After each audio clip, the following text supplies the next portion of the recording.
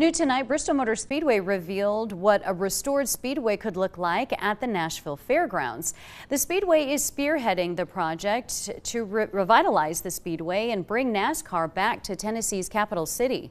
The plan still needs approval from city leaders.